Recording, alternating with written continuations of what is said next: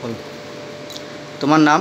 প্রীতম তুমি দ্বিতীয় স্থান পেয়েছ তা এটা দ্বিতীয় স্থান পেয়েছ তোমার এটাকে কীভাবে দেখছ? কীভাবে দেখছি বলতে এটা হচ্ছে এক্সপেকটেশন তো ছিল না এতটা। পরীক্ষা ভালো দিয়েছি এটুকু জানতাম মানে ভালো দিয়েছি যখন ভালোই রেজাল্ট হবে।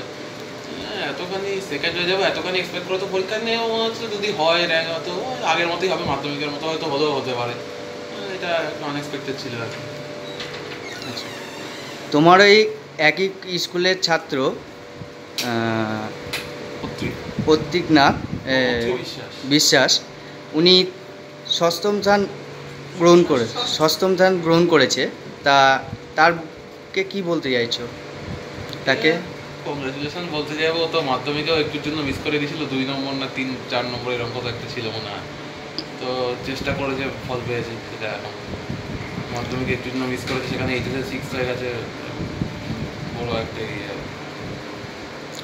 এই যে পড়াশোনার ব্যাপারে এই উচ্চ মাধ্যমিকের ব্যাপারে কতখানি তুমি টাইম দিয়েছ? টাইম দিয়েছি বলতে আমার রেগুলারিটি সেরকম ছিল না পড়াশোনায়। মানে আমি যখন পড়তে ভালো লাগে তখন পড়ছি যখন ভালো লাগছে না সেরকম অন্য কিছু করলাম একটু খেলা দেখলাম। খেলাধুলা তো খুব দেখি ক্রিকেট খেলা। মোবাইল টোবাইল নিয়ে একটু বসি গান টান শুনি এসব করি গেম খেলি। সেভাবে রেগুলারলি এত ঘণ্টা দিনে পড়তে হবে এই সময় পড়তে হবে এরকম কিছু আমার নেই। পড়াশোনা বাদ দিয়ে তুমি আর কি ভালোবাসো? খেলা দেখতে খুব ভালো লাগে আর গান শুনি। খেলা দেখতে আর গান শুনতে? হ্যাঁ। আচ্ছা তুমি এই পরীক্ষা দিয়ে আর আজকে একটা শুনলাম তুমি একটা পরীক্ষা দিতে গিয়েছিলে। তা তার জন্য আমরা কনগ্রেচুলেশন ইয়ে করি।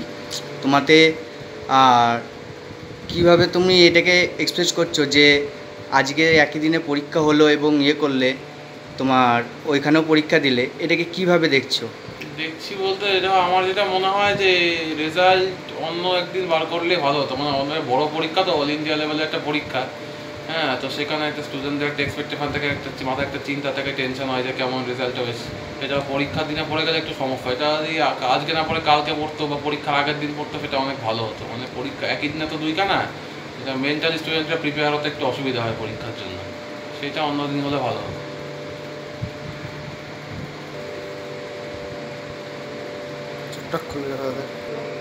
তুমি কী নিয়ে এগোতে চাইছো? কী বিষয়ে এগোতে চাইছো? তো ইঞ্জিনিয়ারিংয়ে যাওয়াই লক্ষ্য তো তাই জন্য ইঞ্জিনিয়ারিংয়ের পরীক্ষাগুলো ভালো করে দিয়েছি। যেই মেন দিলাম ওটা সেভেন্টি র্যাঙ্ক হয়েছে এখন যেই অ্যাডভান্স তো আজকে আজকে ছিল আশা করছি খারাপ হবে না ভালোই হবে দেখি রেজাল্ট বেরো ইঞ্জিনিয়ারিং লাইনটাই পছন্দ।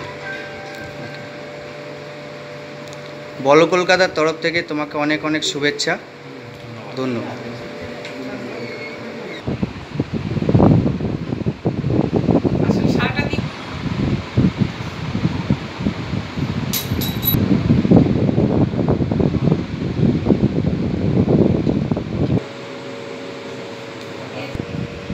আপনাদের ছেলে যে পাশ করল দ্বিতীয় স্থানে উঠল আপনাদের কেমন লাগছে?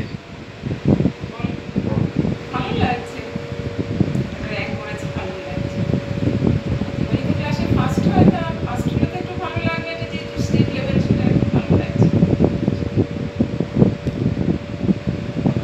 ঠিক আছে